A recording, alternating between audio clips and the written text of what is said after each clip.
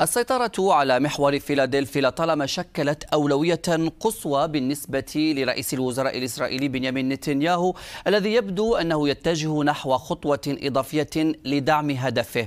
المحور كما نتابع في هذه الخريطة يعد منطقة أمنية عازلة ومعبرا ثلاثيا بين مصر وإسرائيل وقطاع غزة. يبلغ عرض محور فيلادلفيا حوالي 100 متر وطوله يبلغ نحو 14 كيلومترا من ساحل البحر المتوسط كما نتابع حتى معبر كرم أبو سالم جنوب, جنوب قطاع غزة.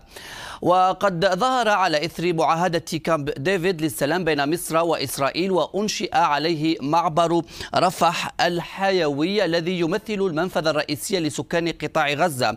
الحكومة الإسرائيلية أقرت خرائط البقاء بهذا المحور والتي ستحدد أماكن انتشار الجيش الإسرائيلي كجزء من اتفاق محتمل لتبادل المحتجزين الأحياء. إسرائيل ترى أن هناك أنفاقا عابرة للمحور وتعتبر منافذ لوجستية لحركة حماس. الأمر ينفيه الجانب المصري فالقاهرة ترفض تغيير الوضع وتتمسك بضرورة الانسحاب الكامل من معبر رفح ومحور فيلادلفي بموجب معاهدة السلام المصرية الإسرائيلية.